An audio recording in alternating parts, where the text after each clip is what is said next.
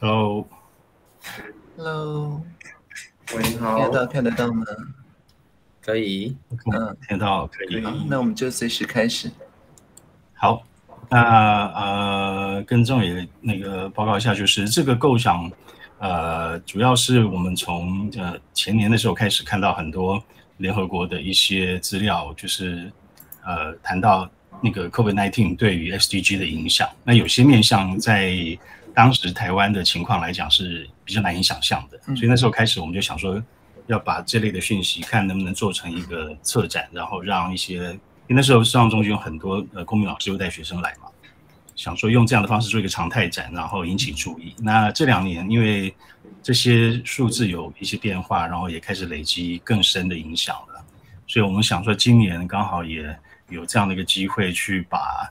呃，利用那个呃七月份的时候，联合国的一个高层论坛那个时间点开始，把这个题目更深化的去做，然后试着去做一个实体展，因为那个社创的空间，中庭啊或地下室，其实还是可以充分在发挥一些利用。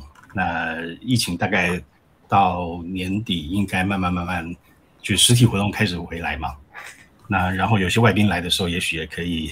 呃，就有一些至少那个台湾的情况跟国际的数字的一些那个对照这样子，所以我们大家想说用这样的一个发想来推动这样一件事情。那我请那个世华把呃简报可能，所以所以你说时间轴是八月到九月还是年底？呃，那个呃七月是话题会开开始讨论，然后。那个呃，实体展我们预计是在大概十月的时候。十月，OK，所以跟简报有有一点点差别。十月我们抗体应该可以用四个月，所以呃，十月应该还 OK 啦，只要不要冒出新的希腊字母的话，OK，好，哦，就开始吧。嗯，OK，好，好，郑伟你好，那么这边是 N Post 的编辑世华，那稍微进行这样的简报，呃。背景的部分其实就是 SDGs 在在正在推动嘛。那过去我们就我们观察来说，呃，可能包括在地的各个 NPO、NGO 们对于 SDGs 的认识，好像大大致上都是它的它是一个联合国指标，然后知道这个名字，然后知道有十七项，但具体来说它怎么怎么怎么跟我们有连接，这是一个未来看未来台湾的在台湾这边不太知道该怎么做的面向。所以呢，我们这次推这个计划，主要希望，主要希望的是看能不能够，看能不能够，第一第一点，在那个全球全球推动 SDGs 的过程中，我们台湾能做什么？然后再来的是，它有什么？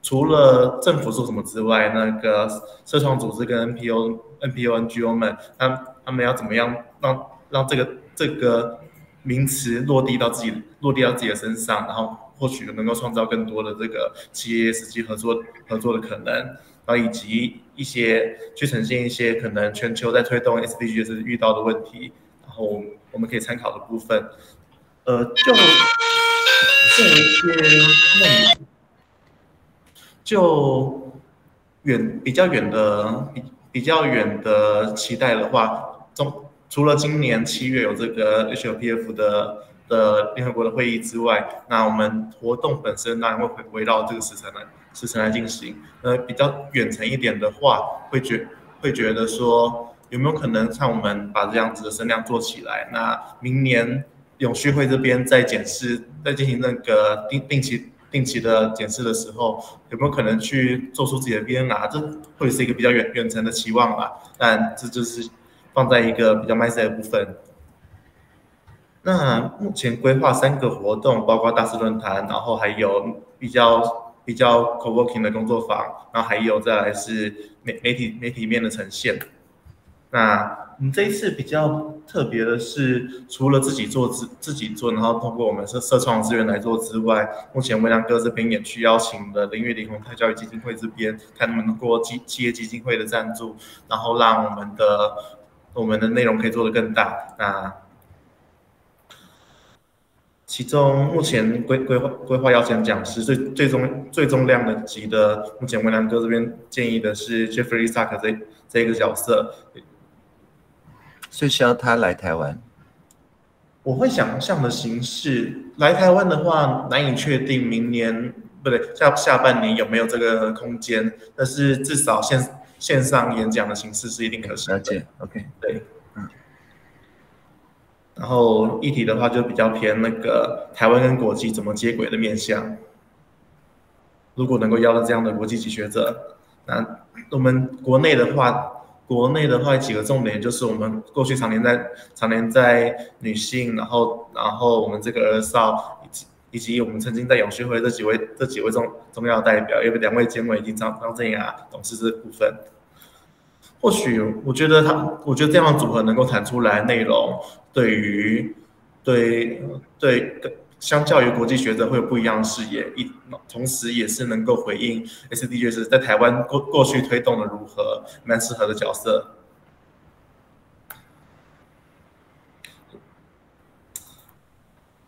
然后除此之外，一些搭配的活动呢，到不希望只是办一个什么亮亮点亮点活动就就解决了。那希望整个我们做。做规划的过程中，能够去动员起更更多的 NPO、NGO 们，这也是我们目前在 NPOS 这边的利基。所以，所以在会希望能够在七八月左右去做一个做一个这样子的这样子的工作坊。我们可能把整个 HLPF 的内容，联合国正在讨论什么，然后哪些拉到台湾来，我们一起一起找个团体一起来去参与参与到这里面，然后去。去跟跟进，跟可能国际目前最最重要、最终 SDGs 今年的重点在于教育，然后性别，然后陆域及水域生态以及国际合作这几这几个面向。那看我们的把这把这些资讯带到台湾来的同时，请我们在在地的团体提出我们一些可或许有什么样能够。从来自台湾的回应这样的解方，那报道的部分就是看依依照我们的活动，在那个首先在联合国会议之前，我们是一定要做这样子的这样这样子的追追踪编译跟报道。那接下来就是跟着我们不无论是在地工作坊，或者是我们大大师论坛这样子的活动，去把一些能够激激荡出的火花来呈现出来，然后比较。比较期待是，如果这次有能够有基企业基金会的赞助的话，我们能够邀请更多的网红进来去谈这件事情。因为过去这是比较少在我们的网红经济里面出现的。然后我们两个也期待能够做双赢、中英双影化的的呈现，然后让更多的外宾能够有机会运用这些资料。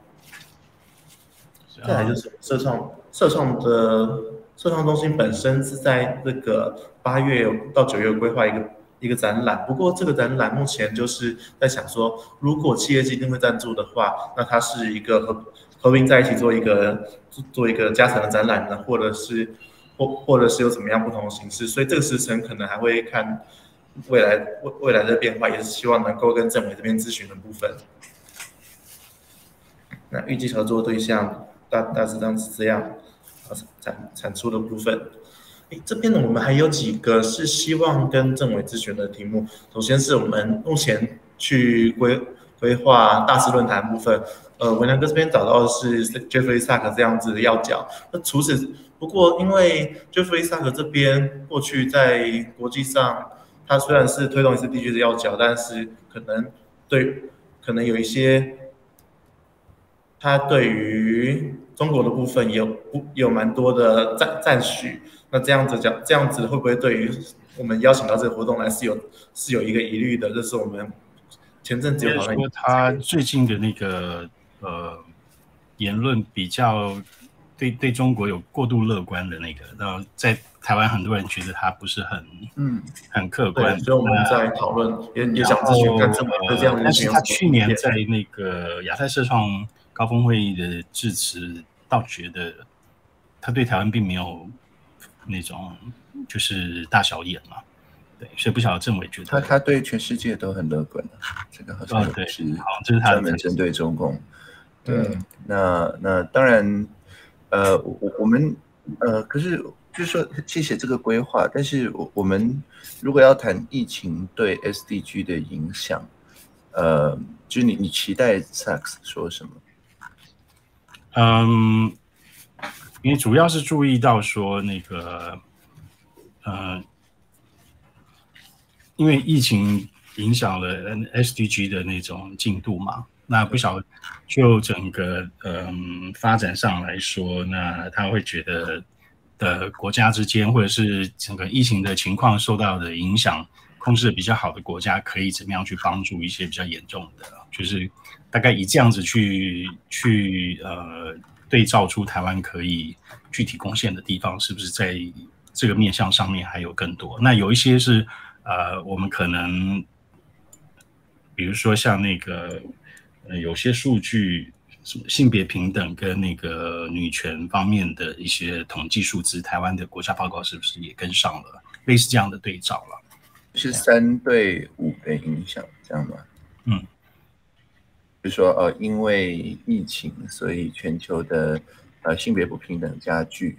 对，还有就是那个呃女性的那个女性扮演各种角色，但是她的那个那个呃就是 unpaid unpaid service unpaid care 这类的事情，好像呃不同的国家有不一样的做法，这样子。好，所以就是说呃，我们这次 HOPF 的四个。就是先不管十七，十七每年都有的的的四个 focus，呃，我们目前看起来，按照你们国内的这个要法，基本上还是性别是主要的嘛，对不对？那这个其他的四啊，十四、十五，这次是嗯，就比较陪衬的角色，可以这样说吗？嗯，我们会希望能够尽量扩扩大这个邀请的名单，然后。达到兼顾的效果。不过，因为目前可能在讲者的，比如重量级讲者的话，比较两两位监委都是刚好在这个性别领域的，所以目前是先。我我觉得聚焦是蛮好的，不要不要会错我的意思，就是说，如果如果一下就展开成这个四五四十五十七，那那就完蛋了。对，所以呃，而且尤其你们现在呃，就还不确定会有非常多的经费嘛。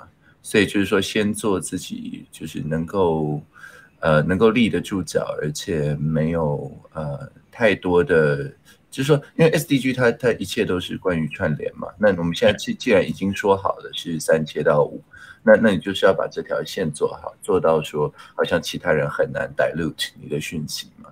那那这个有了，你才能去谈网红啊，谈赞助啊，谈这些东西啊。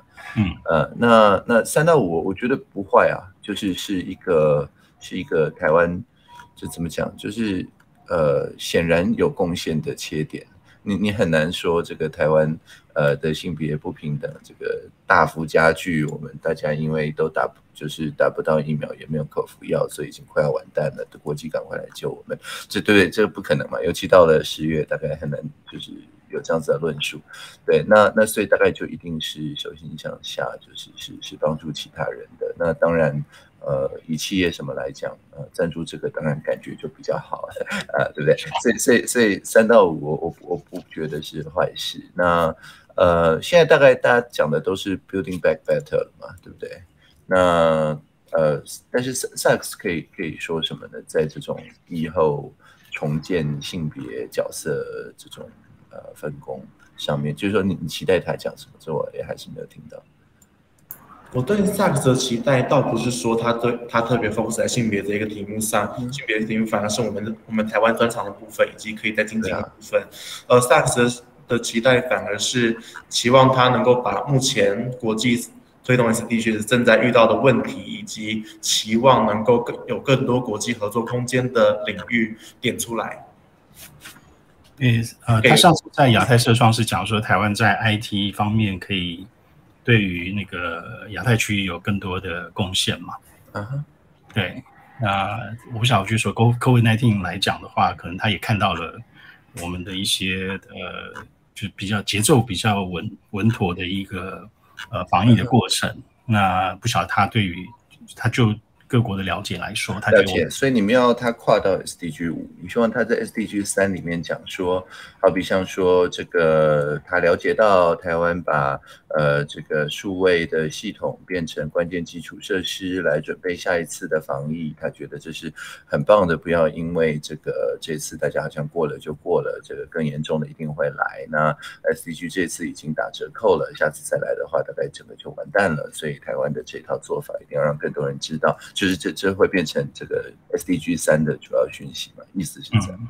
对，好啊，这这样子比较稳啊，而且也比较没有那个国界的问题嘛。就是说，以呃，就是我们希望能够有这种步伐稳健的系统。嗯，我想。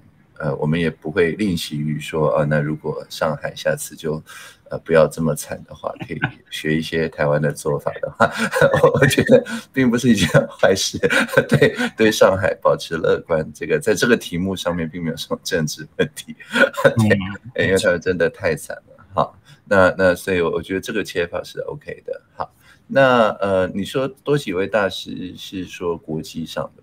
就是如果如果他不行的话，那有没有其他的那个推荐人选备案这样子？对，嗯，你你们自己有有想到谁吗？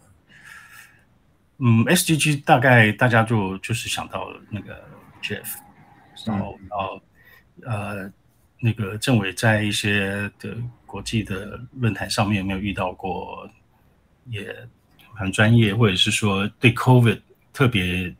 有什么样的一个影响的人？对 COVID 特别有影响。对 COVID 跟 SDG 来讲，嗯，是我理解。当然，就说各国都有，呃，像我这样子专门负责就是数位的防疫的人啊，这个我们是认识很多。那像就是昨天才在瑞士呃医疗日呃访问我的那个，也就是他们呃他们家呃负责写关于 COVID 相关的数位的人嘛，所以这这这样子的人脉我是很多，可是我。问题就是他们大概都不是 当地的永续会或者是 什么社创的 leader，他们就是完全是可以从呃数位跟防疫的角度切，但是呃可能 SDG 相关的就比较困难，就是他没有那个像 Sax 那样的一个大的框架。那但是你们如果不反对的话，那那是可以啊，就是看看你想要哪一个国家，然后我们去洽看看这样。OK，就说你你希望特别惨的还是特别？不惨的，就是如果特别不惨的，当然我也认识纽西兰那边的人呢，对不对？他们说不定比台湾还稍微好一点点。那呃，那特别惨的的话，像我我也认识印度的，那那他们当然就可以讲很多。可是他们呃，就是讲到什么程度，跟我们的讯息怎么接，因为因为状态差蛮多的。那你知道我意思，所以就是可能还是要。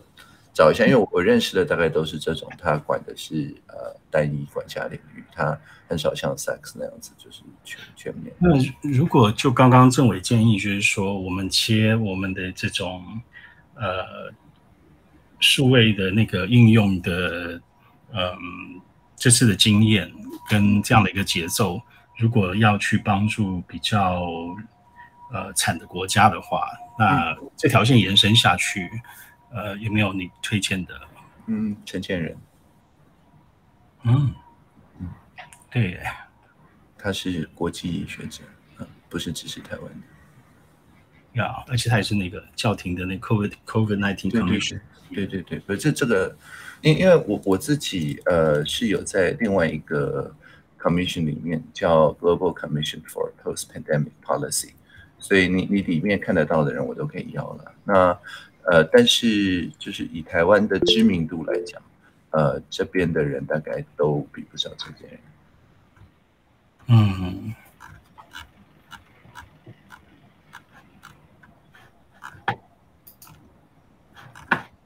那那当然，陈先副总统，呃，陈院士，我我们是可以要的，没有问题。好。那我觉得的确是，那嗯嗯。OK，所以这里面也有一些，可能我们也看一下。如果说可以在这个对话里面激荡出一些，对，就是他们在各自的国家领域，我想都都很知名了，都相当就是有分量。那但是呃，就是在台湾知名的就比较少一些，这样啊。是，台湾可能认识 Stephen 朱了，就是呃前任美国的能源部长。那但是就就就是你你们你们考虑看看，嗯。好。喂，啊，哎喂，哎，没问题。好，那所以这个就先先这样。然后协办资源，嗯，你们在想的是国际媒体嘛？因为国内的你们也都认识了，我认识的你都认识啊。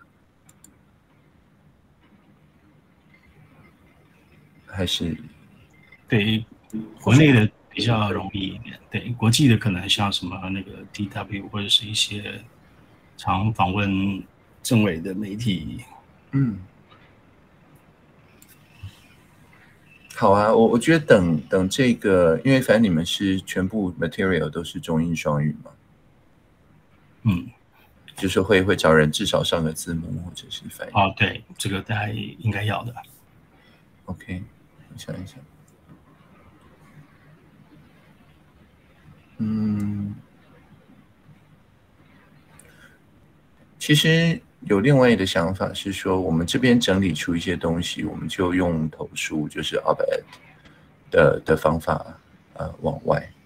那那这样子的曝光，比起说，呃，就是只是能够来得了现场，或者是的当时刚好有空的记者，呃，要要稍微能够接触的面向再远一点嘛。呃，但是当然，现在也有很多 INGO 跟媒体驻台嘛。所以，呃，我觉得重点还是先找到一个他们觉得，哎，这是一个不错的角度的切角，那然后再从这个角度再扩散出去。呃，三到五其实其实我我现在也还没有想出那个 headline 会会长什么样子，所以也很难立刻就说一定要呃哪一家媒体。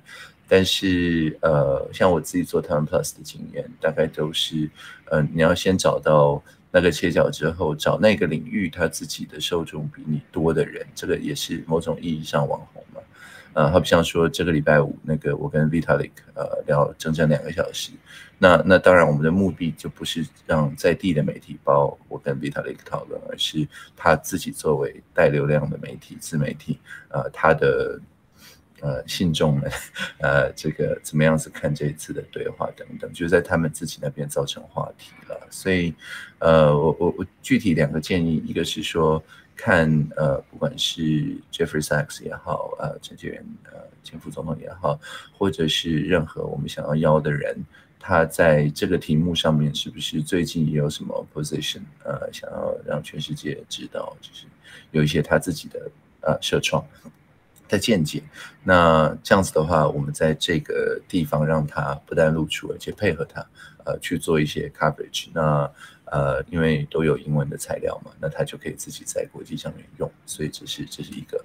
那第二个是说，呃，如果我们要的这些网红，呃，这些自媒体，呃，他也有一些就是国际的连接的话，像当时呃阿迪他们他们 Can Help 的那个 campaign。他们就是找了很多别的国家的网红，那他们网红之间有一些。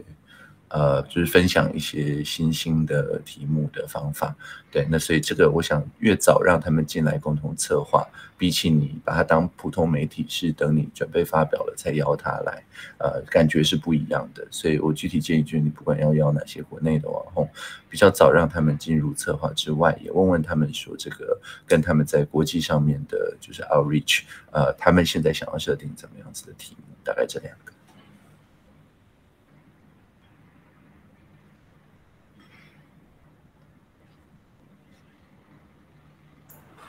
前面讲到这个大师论坛讲者的部分，哎，不不好意思，我再拉回来。来，请。就是说，呃，如果就郑伟霆这边认识的，可能国际里面在提供解方的这些角色里面，有没有特别偏好慈善面的？或许这也是一一个可能的面向。你的意思是说，呃，就是不是社创一般性的，就是呃，跟企业结合。而是呃以收呃 grant 跟 donation 为主的组织，可以这样讲吗？或许这样的角色也会是适合谈 SDGs，我我不确定，这是一个提出一个想法。但这个我们是这个是台湾特别强的部分呢，尤其是 SDG 五，这个是超强啊。对，那那所以你要找到一个跟台湾能够匹敌的 来讲这个，呃，呃我觉得可以啦，可以可以想一些了，但是不不容易了，呃。当然，大的一些一些 grand maker 啊，什么福特基金会啊，这个盖茨梅琳达啊，什么之类，当当然他们扮演非常重要的角色。好比方说，他们可以呃来讲说，他们怎么样让这个 Gavi 啊，让这个全世界分配疫苗的 Covax 啊，呃，让这些东西呃成成功嘛？那，qualify，但是成功了。那那但是就是说，这个故事跟我们想要引到的方向有什么？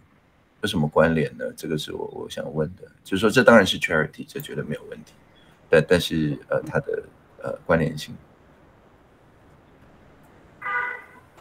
还是希望会他他们会能够提出个见解，会会来呼吁我们做更多事情，这样子的角色，这一定一定可以呼吁啊！好比像说这个以后呃高端也好，联雅也好，赶快早一点送 solidarity test，呃，还有那个什么呃。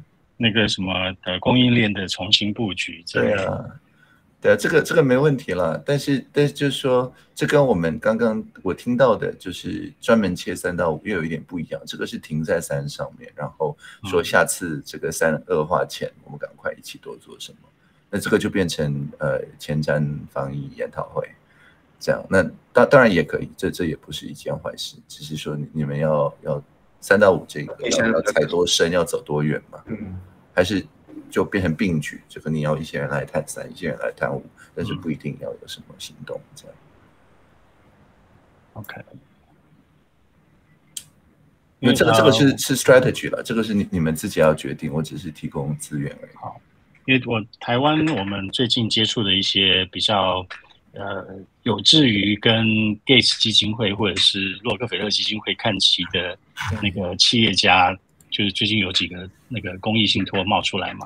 对啊，那呃，所以他们也想要就在在这样的机会上面去，比如说找几个标杆来来学习，就是他们怎么样去做这种国际影响力的东西。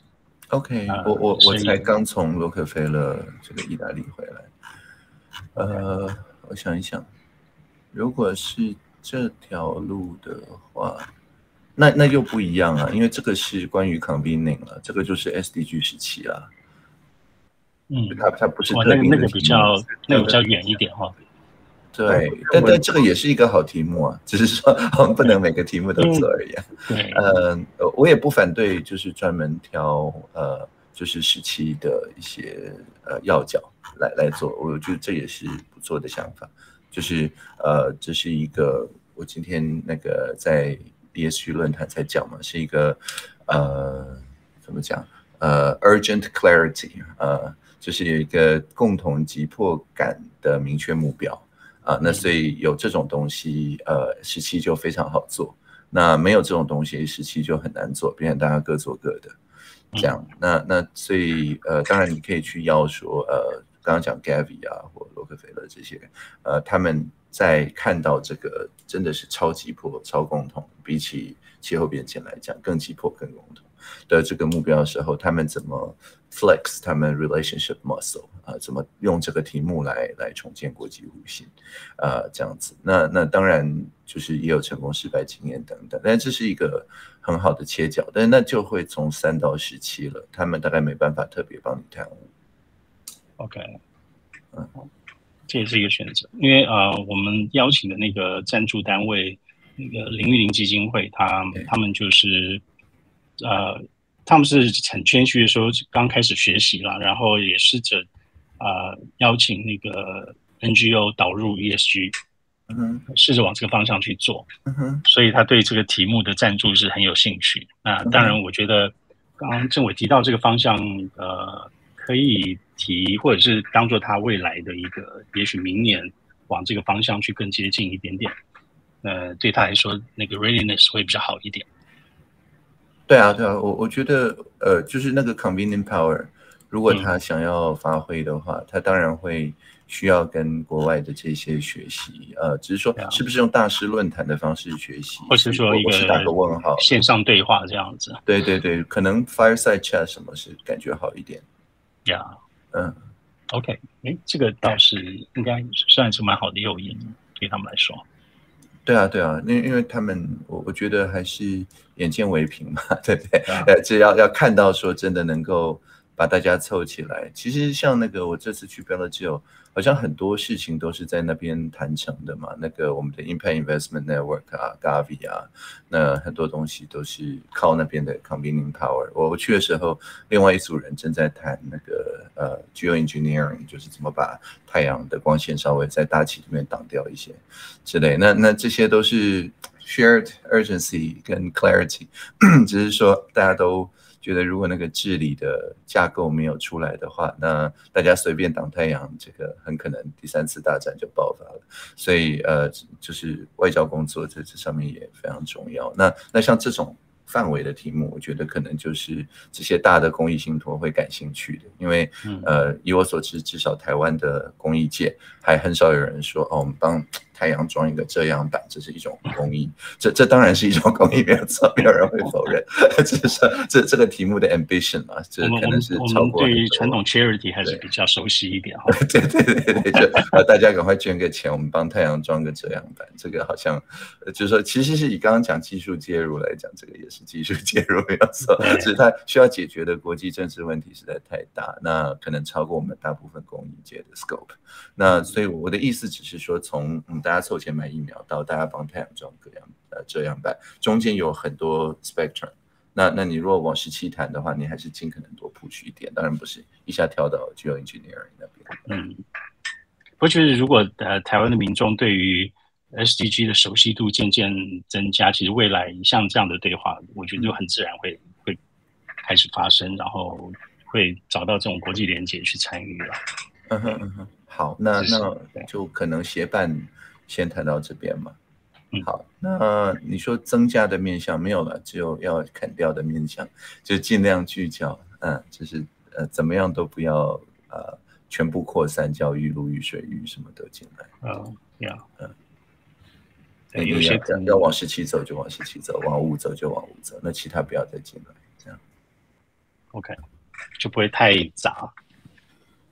对啊，对啊，我我的意思说，因为因为那阵子 HOPF 也也不会只有我们家在在办这种活动嘛，大家多少还是会找一些切点。那尤其教育现在在台湾也是很很夯的话题，那也有很多很多经费投入嘛，所以我我觉得嗯。不需要野心那么大，不需要去重不需要这么多吃，对对对对对对对，就也也对我知道那个杂学校他们也在对啊，呃做这个讨论，所以应该不用他们重复。对对对，还有我们这个地下教育部亲子天下等等，就是他们每个都有自己的策展的想法，他们现在对那个呃生生用平板啊什么都都有很多想法了。那那当然，这个他说，诶，三到四也是三到四啊，因为疫情，大家发现远距上课的重要性，嗯生生用平板等等，这这套也通，就是说他从三开始讲也通，但是那那个就到一个我们很难到的地方了，所以我觉得不一定要说硬说 HLPF 有几个，我们就讲几个这样子。那呃，我们这次也发现有那个新创的团队或者是社创团队里面有有在呃，比如说呃，帮助企业去整理那个 CSR 报告书，嗯或者是就类似这样的新创开始出现。对啊，呃，对啊。甚，至我们有呃上次一个论坛有一个去新加坡创业的，他是去帮制造业呃处理那个数据收集，然后让它可以方便成为绿色供应链的一些必要的那个资料库，可以嗯嗯政府跟银行都可以用。那类似这样的创业，其实在台湾很多年轻人呃是看到然后开始往这边创，对啊，对是是整个盘查的商机，对。对，那我觉得也是一个我们以后在吸引那个呃进驻团队的时候，二点零版的时候，这种科技要生的一个嗯嗯嗯，一个一个机会啦。对啊，至少是是有没有有没有这方面可以今年我们也带到，至少让那个呃中汽数这边觉得那个二点零版的一个嫁接的一个概念。嗯嗯嗯，呃，我我觉得，当然，这个从呃社创刚刚开始就已经有呃这样子的题目呃在在做。那呃，我记得第一期应该就有一个用用 AI 帮忙整理 CSR 报告的，呃，但是当然这个题目现在变主流题目了，不是只是呃少数人的创业题目，所以所以我觉得中汽处自己主要就是做盘查的，呃，盘查赔率的的地方，所以我想他们对这个题目是很熟悉哦，绝绝对不会不熟悉。那社创这边，呃，我觉得比起就是盘查的。呃，怎么讲？承办方来讲，我觉得还是多了一些议题设定权，就是说，呃，就是我们知道社创它除了跟企业连接，它自己也跟社会倡议者这边连接嘛，所以就会变成是说，呃。呃，那些还没有准备好要计算的，我们无论如何就帮你算算看，因为我们不想要都只听到好的 消息，呃，或者是说这个本来只算几个容易得分的地方，但是呃，无论如何我们帮你算到其他面向或细项，为什么？因为这些才是重要的，不能把呃成本全部都外部化到这个大家没有算到的地方之类之类。那那这个相信就是我俩很熟悉了，就是台湾很多环境倡议者，呃，包含透明组织他们，现在大概都是用这种我。帮你算算看 的的那种角度来来进行，那那这个我觉得才是社创比较难以取代的部分，呃，因为如果是只是呃进行盘查的厂商的话，那现有的供应链大概都可以处理到一个程度。那但是如果我们要把新创往社创方向稍微引一下的话，那就可以再 challenge 他们说，哎，那有没有哪些你们觉得对后面时代很重要，可是这个时代好像集体选择不去计算，呃的的东西。啊，那那就是是忘记了，还是害害怕去盘查什么之类的，所以可以可以试试看，呃，往这个方向切。那那我觉得至少对于中期处这是一个呃 differentiator 嘛，是一个呃有差异化的价值。OK，好。那这样应该第四题，呃，但是我们刚刚已经说我们要切到它比较三到五的嘛，那五你们就非常熟了嘛。对，那那三其实，呃，我我觉得，嗯，有一个概念了，就是叫呃，digital public infrastructure，就是数位的公共建设。那 DPI，那 DPI 现在是呃，洛克菲勒也好，或者比如美琳达或 media 或什么，现在大家很多焦点就是聚集在这个上面。简单讲就是说，他们认为说，呃，在很多国家。不是他们看不到正确的疫情的反应应该怎么样，而是他们没有底层的那种公共没有基础建设。对，也就是说，像像举例来说，呃，我们呃要做几乎所有事情都依赖健保。呃，IC 卡、健保、VPN，呃，跟呃身份证字号。那如如果或居留证号，那如果没有这个公共建设，就是就算民间的公民科技社群再强，这个也绝对不可能。他们在某个小的部分成功的东西，我们隔天就变成全国适用。那为什么可以到小规模创新，隔天或下个礼拜就全国适用？当然是因为我们有非常良好的数位公共建设。我们从呃二零零三年健保 IC 卡的时候就投资。是嘛，那呃，但是我们二零一六年才呃把它说，那即使是资料的互通，呃，数据公益的那个 pipeline，呃，我们也把它当做公共建设，可以拿前瞻的数位建设的经费。那这个是一个突破，因为以前这个是经常门嘛，它不是资本门，所以根本不可能用这种特别预算。那但是二零一六年的时候，也是很感谢陈立军部长，呃，因为他在文化那边有就是无形的文化的那种呃倡议，所以我们就等于搭着立军的这个论点，呃，那也真正蛮扎实的投资了像民生公共物联网那样的数位的公共建设。那当然就是因为本来就是为了韧性、为了防灾做的，所以呃，当真正灾情来的时候，哎，我们的呃不敢说。这个准备好了，但是我们的反应速度是建立在随时可以调整呃的这个公共建设上面，所以呃就甚至有些地方是 anti fragile，就是说呃因为来了挑战，所以我们就变得更更强嘛，呃更稳健，所以呃像这种东西现在是国际这些大的 SDG 时期。呃的公益很喜欢的题目，是因为他们的论点都是像我刚刚讲到的，下个希腊字母随时都可以来。那所以你现在如果不投资在这些公共建设，包含数位的公共建设上的话，那那你就完了这样子。所以像日本在疫情后，他们数位厅呃挑的题目就是身份证号啊，就是 My Number 啊。那那因为他们认为这个题目他们没没解好，是他们这波疫情反应。慢的主要的那个卡关的点。那或者像印度也是啊，就是他借这个机会推阿哈，呃，就是他们的呃身份证。那那这个都是看到说，哎，那你在疫情的时候，你要用那个 state capacity，就是你要用政府力量，呃，去递送好的 outcome 的时候，呃，你最后一里。如果没有这些建设，根本到不了，呃，等等，所以，所以像这种都是台湾很适合谈的题目了。那光是一个健保制度就可以谈很久，这个我们远距医疗啊，远距看诊啊，呃，快筛阳确诊啊，对不对？但当然，当时大家觉得非常乱，可是我们可以就是四五天就就变出这样子的系统，表示 infrastructure 非常的稳健嘛。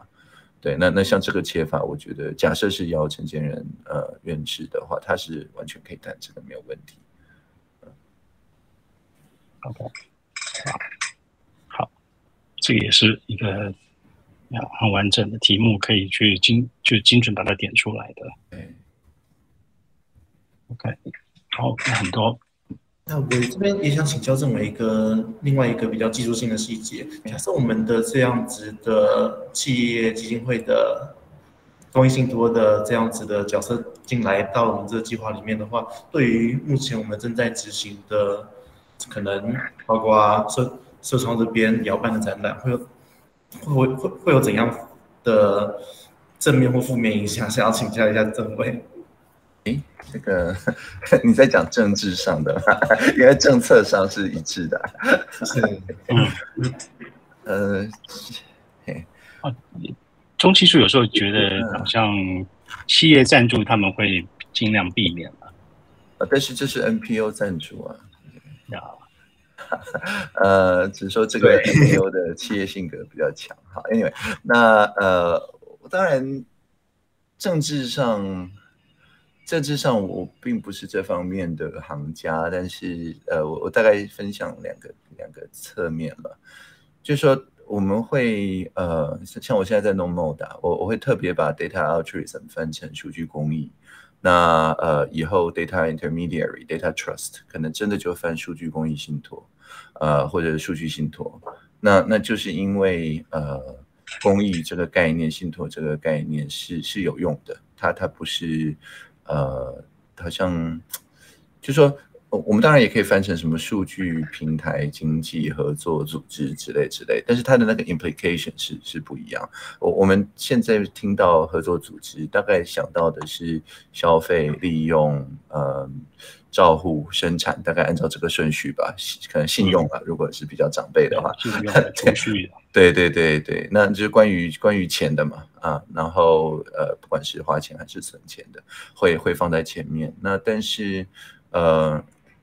就是关于各自的数据的公益信托，大概很难是用这种存钱花钱消费的这个 metaphor，呃来讲，对它比较是呃像那个美国那个 All of Us，就是说是我们把我们的简体以及简体的数位化呃凑在一起，那但是这个之后，当然我有退出权，但是大概就会放在那边了。那放在那边之后，是我找专业的经理人来让他呃发展出更好的应用，那我没有办法预想到的新的应用。那但是这个就跟呃我储蓄想要借钱给别人是不一样的，因为呃钱你借了就在他呃就是还你百分之百至少，呃之前这个你不能再借别人嘛。那但是数据或者我们刚刚讲这种数位的基础建设，它的特点是越多人分享它越有价值嘛，它是网络财。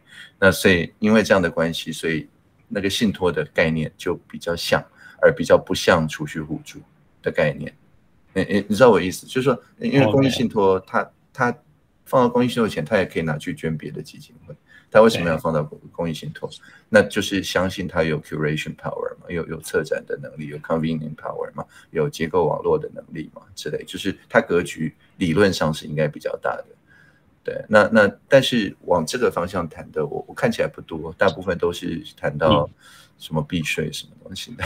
所以就是说，呃，我的第一个，我觉得这是。第一次听到这样，而且我觉得还蛮有意思。尤其台湾的那个鉴宝的数据跟简体相对完整的时候，那个那个价值是很可观的。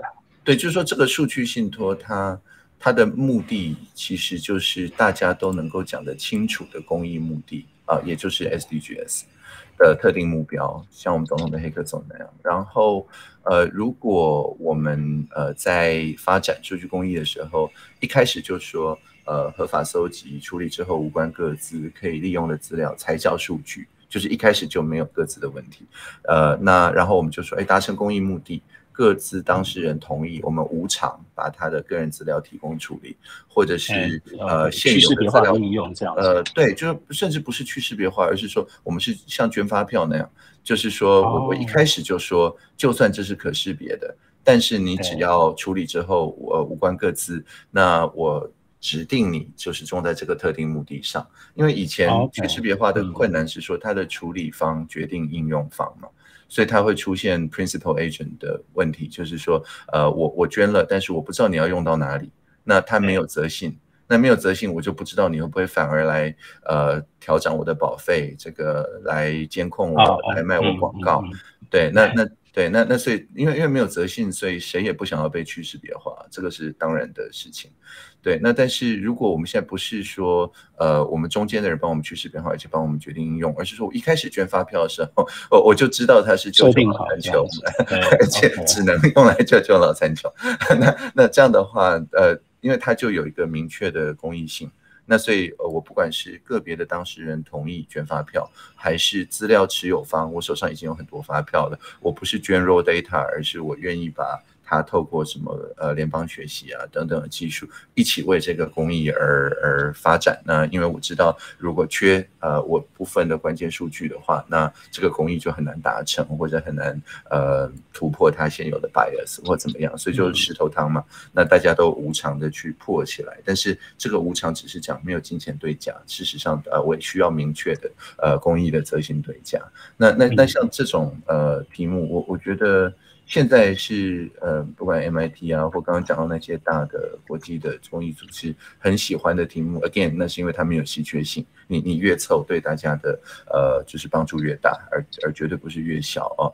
那如果你从 SDG 三切，那这个题目就是在讲 monitoring capability。呃，下一次这个新的希腊字母来的时候，我们怎么样提早两个礼拜，提早两个月？知道这件事情，因为我们如果能够提早两个月知道，呃，几乎所有国家都可以防得住。但是我们如果延后两个月知道，几乎所有国家都防不住。对，那那之类的，那那这个就是数据公益的一个好题目。那当然还有很多题目了。所以，呃呃，我的意思是说，呃，我们可能如果要跟公益信托合作，你要么要呃取得公益这个字的主导权，或者信托这个字的主导权，或者两个都要取得。那那这样的话，从呃政治的角度上面，那我们就是说，哎，我我们想象中数据公益、数据信托长这样子。那现有的公益信托，他愿意配合的话，那我们一起来策展。那他如果只是用来呃，就是避税或者是呃另类的投机的话，那对不起，跟我们就没有关系。这样。哦，了解。嗯，站在一个另外一个制高点去看这个题目的时候，比较不会被就是左右啊。对啊，就就是这个意思了。就是说，如果你有，如果你有呃信任的盈余，那其他人有信任的短差，那你跟他的合作，他就是跟你谈判的时候是处于一个他要拿东西来换的位置嘛。那那但是如果你不强调你的信任盈余，那就算他稍微有信任短差，但他毕竟钱比较多，那你跟他谈判的时候变成你要求他的位置。嗯。对对，讲的非常抽象了，就是 SDG 十七最后面的 十七点十七 这一类的东西。那个、那个、那个，的确是大家比较还没到那个阶段去看这种合作，而且好像呃，因为也比较少像政委这样有机会去跟这些组织去对话，所以。呃，看到那样一个趋势，我觉得这个可以，我们来想想看，怎么样去铺陈，或者是说渐渐去把它往这个方向去 push。但我觉得还蛮重要，尤其很多年轻人大概会对这样的一个内容觉得 surprise，就是没想过，或者是说哦，嗯，怎么样去深化。了了解更多这样，嗯，就是哦，原来也可以做数据公益，对，哦，原来我们花力气在 Web 三上没有白花什么之类，对，之类这个哦，原来 NFT 不是只能用来骗钱，可以用来 price，就是本来看起来这个道德上很有问题的无聊元素的东西，哦，原来也可以做好事，呃，之之类。那那这样子，因为这个我们呃就呃不客气讲，我们比现有的公益型投都懂这些题目，对，所以所以这个时候就在一个比较对等的谈判位置。好，呀，我觉得这个可能要来跟他们呃在。我想想看，怎么样来让他们知道更多一点，也，嗯，嗯，OK，好，谢谢，非常好的收获。啊，还有没有其他的？没有的话就差不多了。哎，我呃，我这边想来补充提问一下，请说。哎，就是嗯，呃，我刚可能有一些有 miss 掉的部分，就是。呃，这次的 HLPF 的 focus 的点应该是四五十五十七嘛？对。那呃，因为我们刚刚好像比较讲到比较多的会是三到五的这一块，是因为这次疫情是三的原因吗？呃，对对对啊，嗯。哦，OK OK OK，嗯，哦，没有，我们只我只是想确认一下，因为我们这这关系比较细节的一些部分而已。对，就是说从呃，因为。